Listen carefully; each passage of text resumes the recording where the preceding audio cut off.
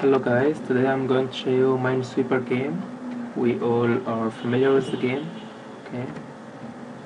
So first we are going to enter the names there. So let's make them see. Okay.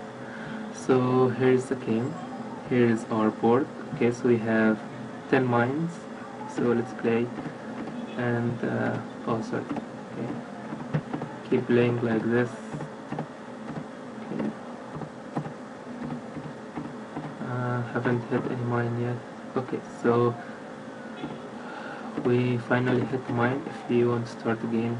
So let's just press here and start the game again. Okay, it's a pretty simple game. Okay, so we get to choose our level. We are playing in beginner mode, so let's make it intermediate.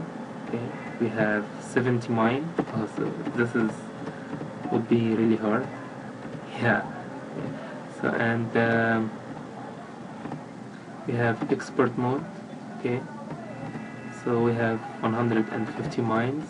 So only expert places level actually. Okay.